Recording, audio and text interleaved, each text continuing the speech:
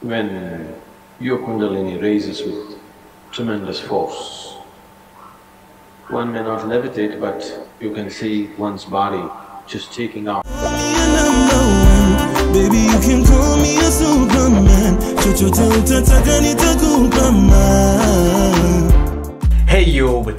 What's up everybody? Welcome back to our channel. It's your boy Jessy Kigen and we are Fanny and Jessy. So right about now we're gonna do another reaction video. But before we get into the reaction guys, I wanna thank you so much for subscribing to our channel and thank you for getting us to 15,000 subscribers. We're in the road to uh, 16,000 subscribers. You guys are super amazing.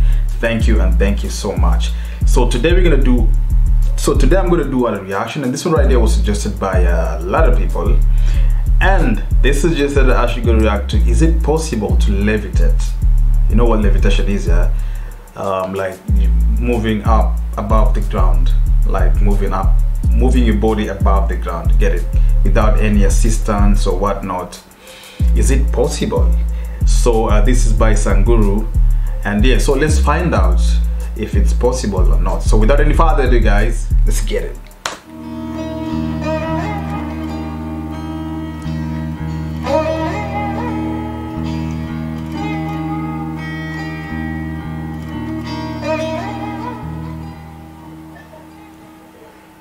Levitation?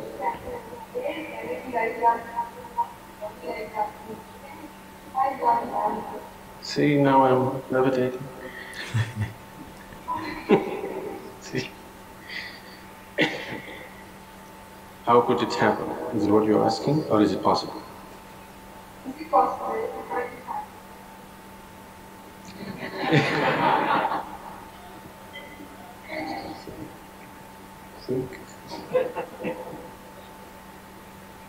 Is it possible? It is possible. How does it happen? There are there are many ways, or there are certain ways through which you can become less and less available to gravity. There are certain practices, certain kriyas through which you become less available to gravity. Because of this, one may levitate, it's possible. Or when uh, your kundalini raises with tremendous force, one may not levitate, but you can see one's body just taking off by itself and landing. It doesn't stay there, but it takes off and lands, takes off and lands. If you make a little effort, without any effort it's happening, but if you make a little effort, with little effort, when the energy is high, it happens. You must have heard of… you heard of Mayamma? The lady saint in Tamil Nadu, Mayamma, you heard of her? Nobody knew where she came from, but it looked like her features said that she must have been a Nepali. But uh, she never spoke. She was in Kanyakumari, very tip of southern India. Her friends were always dogs. She had a whole band of dogs behind her. She was uh, so involved with these dogs that she would steal food from hotels. You know, in the small hotels they keep all these vadas and other things. She'll just go grab it and put it for her dogs. So many times people even physically handled her. People would beat her, throw stones at her, because she grabs food from everybody and gives it to the dogs. She never spoke. Then people found certain times when people went and watched her, she would be just floating on the waves of the ocean. She would just sit like this and simply float.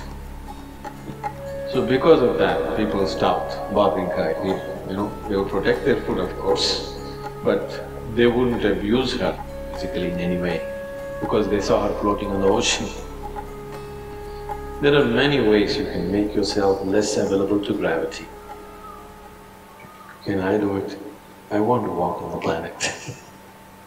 I have no intention of floating. Certain people who follow the path of Hatha Yoga usually do these feats. It is of no life significance.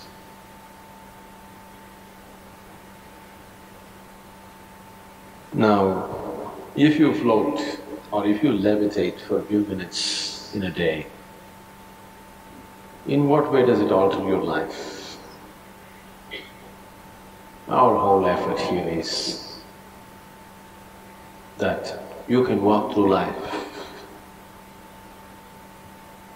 very much on the ground, but you can walk through life no matter what happens with your life, no matter what kind of situations you face. You go through life untouched, still like a child as you were born. How many things happen in your life? It doesn't matter. How many things go wrong? Everything goes dead wrong. Every day is a crisis, but still you go untouched through life. This is a miracle. I want all of you to perform this miracle. On your deathbed, if you are like just born, that means you have performed a wonderful miracle of going through life untouched. That's possible. So, we are interested in performing that miracle. Floating in the air, walking upon the water, what will you do with it? Three days if you walk upon the water, it'll be fine when you get all the attention. Every day if you start walking upon the water, nobody will look at you. They'll all take their speed boats and psh, they'll go. Then you will also wish you had a boat, isn't it?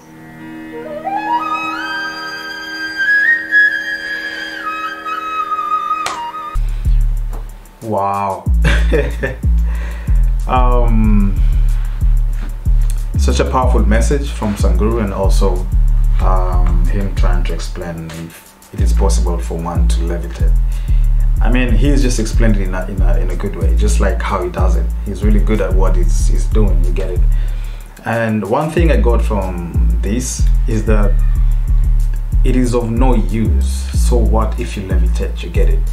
Uh, you know, does it add any value in your life? You get it.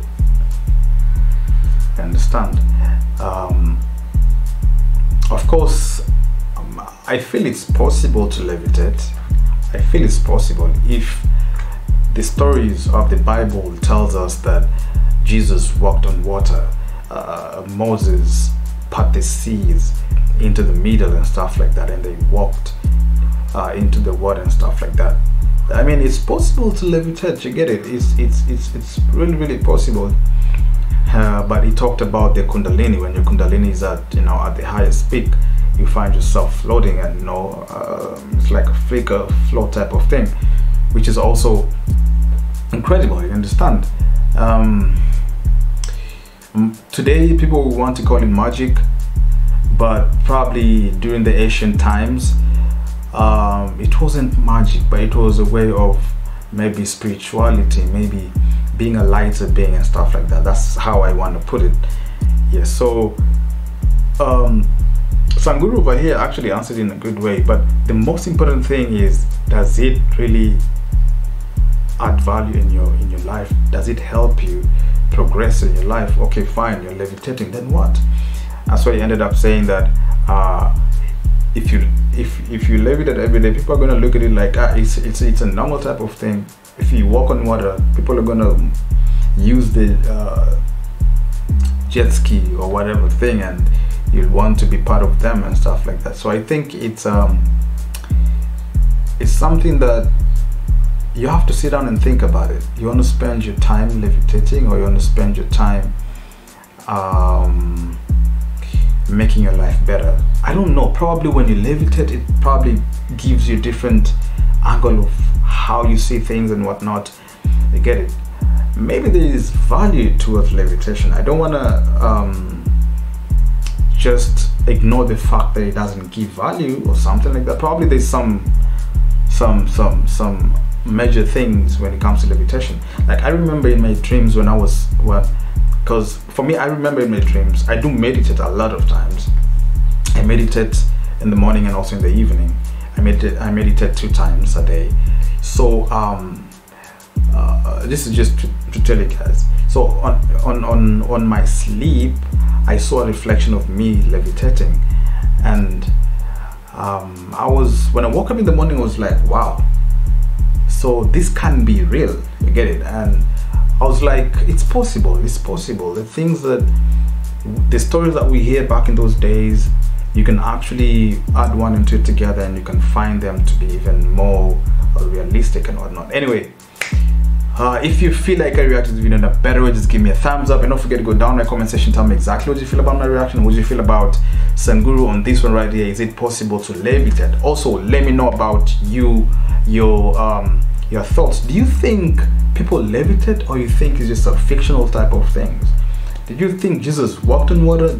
Did you, did, um, do you agree that Moses divided water into half? just let me know in the comment section below and we, we can talk about it and whatnot and the most important thing guys don't forget to subscribe to our channel the more you keep on subscribing the more you give us the motivation to do a lot of videos and to give you a better better content and last but not the least i'm going to see you rather we're going to see you in the next video and peace out